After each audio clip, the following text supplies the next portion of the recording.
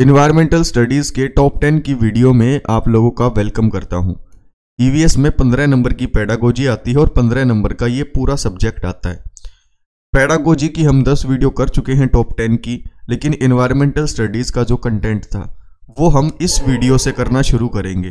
तो ये पहली वीडियो है दोस्त ईवीएस में। सिर्फ़ यही कर लो आप रिज़ल्ट बोलेगा आपका आपके लिए, और 125 प्लस आपके श्योर हो जाएँगे। क्योंकि ईवीएस में अब की बार जितने भी क्वेश्चंस आएँगे, वो हमारी इस सीरीज़ के अंदर से ही आएँगे। तो ये पहली वीडियो है। नए स्टूडेंट अगर जुड़ते हैं तो सब्सक्राइब करो चैनल को और साथ ही बैक टू स्कूल की एंड्रॉइड एप्लीकेशन को भी इंस्टॉल कर लो, जिसका लिंक आपको डिस्क्रिप्शन में और पहले कमेंट में मिल जाएगा। इसको इंस्टॉल करने के बाद अपना अकाउंट बनाए। यहाँ पर मॉक टेस्ट नोट्स और पीडीएफ है सीटेट एग्ज़ाम के लिए। अगर आप उनको ट्राई करते हैं तो आपका एग्ज़ाम सौ प्रतिशत जो है पास होगा। सब्सक्रिप्शन ज़रूर ले। ताकि मैं आपका नाम शेयर करूँ। रूपाली ने आज सब्सक्रिप्शन लिया, एक लोती हैं जिन्होंने सब्सक्रिप्शन लिया है कल और आज में तो सब्सक्रिप्शन ज़रूर लीजिएगा। तो चलिए, पहले क्वेश्चन से शुरू करते हैं। जो भी क्वेश्चन आपकी स्क्रीन पर अब आएँगे, वो एक से एक बढ़ के होंगे तो आपको आंसर देना है। पशुओं के बीच प्रतिस्पर्धा में, निम्न में से कौन सा घटित होता है? दोनों पशु पशु लाभान्वित होते हैं, दोनों पशुओं को नुकसान पहुँचता है। एक पशु लाभान्वित होता है और एक पशु को नुकसान पहुँचता है। पशु न तो लाभान्वित होता है, न ही उसे नुकसान पहुँचता है। पहला ऑप्शन कह रहा है both animals get benefited second option बोल रहा है बोथ गेट हार्म्ड तीसरा बोल रहा है one animal gets benefit and one gets harmed और लास्ट वाला बोल रहा है animal neither gets benefit not harmed answer बताइए दोस्त, यहाँ पर क्या होगा? देखिए, आंसर होगा, दोनों पशु लाभान्वित होते हैं। देखिए, जो पर्यावरण होता है ना, आप तो सोच रहे होंगे, एक पशु दूसरे को मार देगा। तो इसमें दोनों लाभान्वित कैसे हुए? देखिए ईवीएस में आप एक चीज़ ध्यान रखिए, ऐसे क्वेश्चन आएँगे, और आप ध्यान रखो कि पर्यावरण में पशु आबादी एक दूसरे के साथ परस्पर प्रभावित होती है। ठीक है? और ये जो आपका प्रतिस्पर्धा है पशुओं के बीच में ये हर एक पशु के लिए काफ़ी अच्छी होती है। ठीक है? और अगर आप देखें तो यहाँ पर आंसर आएगा पहले वाला ही। दूसरा, पौधे के किस हिस्से से लौंग और केसर प्राप्त होते हैं? जड़, स्टेम, फूल या फल? बताइए। देखिए, फूल से लौंग और केसर हमें प्राप्त होंगे। क्योंकि जो अलग अलग चीज़ हैं, वो अलग अलग पौधे के पार्ट से प्राप्त होती हैं तो लौंग और केसर फूल से प्राप्त होगी। वन्य जीवन की सुरक्षा के लिए इंटरनेशनल संगठन कौन सा है? बताइए। International organization for the safety of wild life I U C N. क्या नाम है दोस्त इसका? I U C N. IUCN का मतलब क्या हुआ? The international union for conservation of nature and natural resources चलिए जी नेक्स्ट क्वेश्चन की तरफ़ आगे बढ़ते हैं। कीट केकड़े घोंगा स्टारफिश जैसे जीवों को डैश वर्ग में शामिल किया गया है। Animals like insect carp snail starfish are included in the category of अक्षयरुकी इसका मतलब होता है इन्वर्टब्रेट्स कशेरुकी वर्टिब्रेट्स स्तनधारी मैमल्स इनमें से कोई नहीं। बताओ, आंसर क्या होगा? जितने भी कीट कीकड़े घोंगे, स्टारफिश है, इनको किसमें आप जो है इन्वर्टिब्रेट्स में आप इनको काउंट करते हैं। अक्षय रुकी में आप इनको काउंट करते हैं। देखिए, अक्षय रुकी वे जीव होते हैं जिनके रीढ़ की हड्डी नहीं होती। कीड़े, केकड़े, घोंगे, स्टारफिश, ऐसे जीवों में रीढ़ की हड्डी नहीं मिलती है। और जितने भी ये केशुरेकुई, यानी कि जितने भी अवर्टिब्रेट्स हुए, जितने भी मैमल्स हुए, जैसे स्तनपाई पक्षी, मछली उभयचर इन सब में आपके रीढ़ की हड्डी पाई जाती है, लेकिन ये जो अक्षय रुकी है, इनके अंदर रीढ़ की हड्डी नहीं होती तो आंसर होगा पहला। Next question. इनमें से कौन सा भारत में माइक का स्थल नहीं है? बताइए।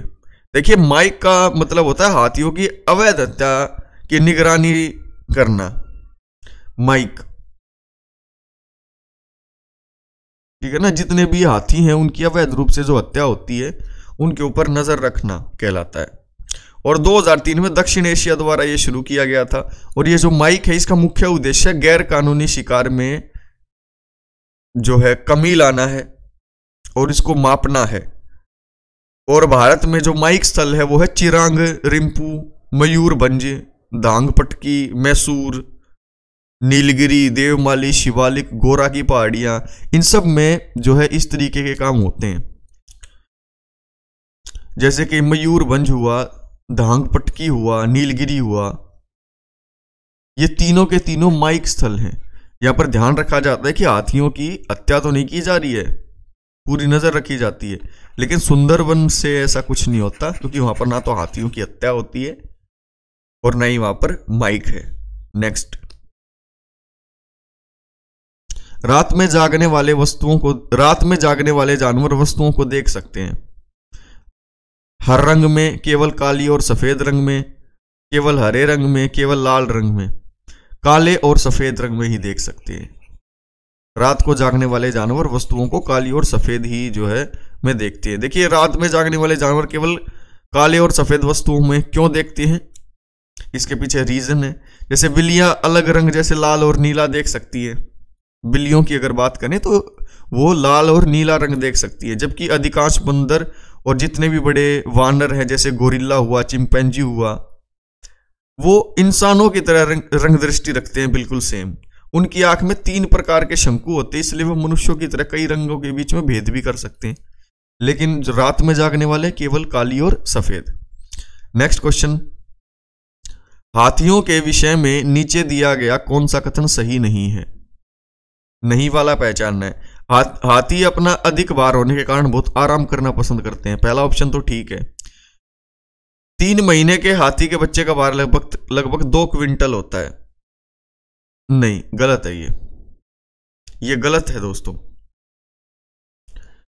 वयस्क हाथी एक दिन में दो क्विंटल से भी अधिक पत्ते और झाड़ियाँ खा सकता है। तीसरा बिल्कुल ठीक है। हाथी दिन में चार से छह घंटे सोते हैं। बिल्कुल ठीक है। देखिए अगर मैं बात करूँ दो क्विंटल नहीं होगा तीन महीने के का। लगभग नब्बे किलो के करीब होगा ये तो बहुत ज़्यादा बता दिया। दो महीने के हाथी के बच्चे का भार दो क्विंटल नहीं होता। हम्म, देखता हूँ मैं थोड़ा सा अंदाज़ा लगाए क्योंकि जब मैंने पिछली बार जब पढ़ा था तो मैंने देखा था जो 90 के जी था वो दो साल तो नहीं लगभग ये लगाओ बर्थ के टाइम पर होता है। बर्थ टाइम पर हो गया दो साल का। ठीक है? और एक दिन में ये लगभग पचास के जी पतिया फ़ूड खा जाता है। डेढ़ सौ किलो तो फ़ूड खा जाता है। और पचास लीटर पानी पी जाता है। हाथी की अगर मैं बात करूँ तो।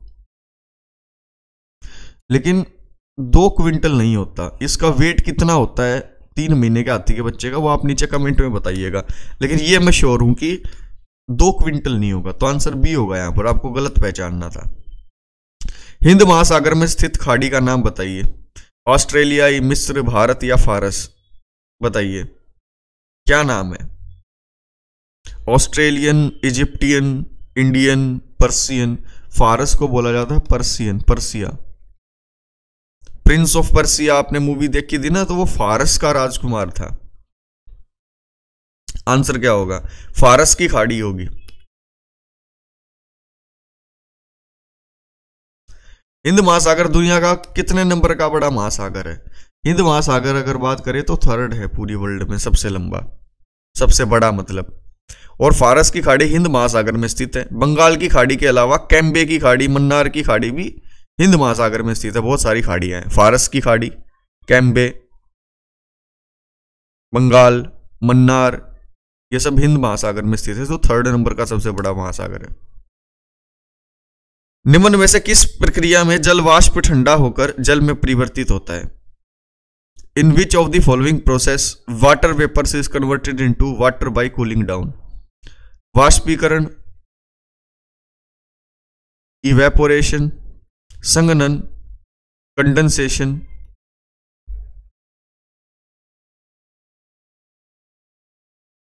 ह्यूमिडिफिकेशन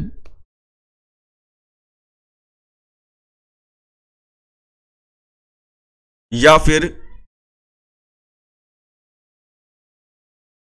प्रिसिपेशन आंसर क्या होगा?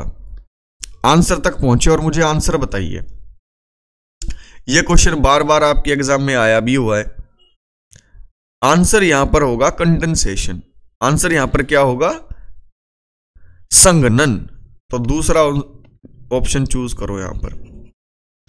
देखिए, जब तापमान में कमी होने पर वाटर अपने वाष्प से आपके तरल जल में परिवर्तित हो जाता है तो इस प्रक्रिया को संगनन कहा जाता है। ठीक है ना? टेम्परेचर कम हुआ। और पानी अपने वेपर से लिक्विड में जो है चेंज हो जाता है कंडेंसेशन इसको हम कहते हैं। नेक्स्ट क्वेश्चन की तरफ़ आगे बढ़ते हैं। प्रवृत्त श्रृंखलाओं में मौजूद पानी की मात्रा कितनी है? कितने परसेंट है? पर्वत श्रृंखलाओं पर पानी की मात्रा होती है आपकी ज़ीरो दशमलव ज़ीरो ज़ीरो थ्री परसेंट तो ये जो दूसरा आपको ऑप्शन दिखाई दे रहा है, ये बिल्कुल ही राइट आंसर होगा यहाँ पर। तो दोस्त आज की इस वीडियो में जैसे मैंने दस क्वेश्चन आपको कराए ईवीएस e पैडागोजी में तो हम दस वीडियो कर ही चुके हैं लेकिन ये ईवीएस e कंटेंट की क्लास थी तो जिसमें पहली वीडियो थी ये। वीडियोस और अच्छी आए, आएँगी आपके लिए और ज़्यादा वीडियोस भी आएँगी लेकिन आपको वीडियोस को देखते रहना है अपने यार दोस्तों तक शेयर करते रहना है।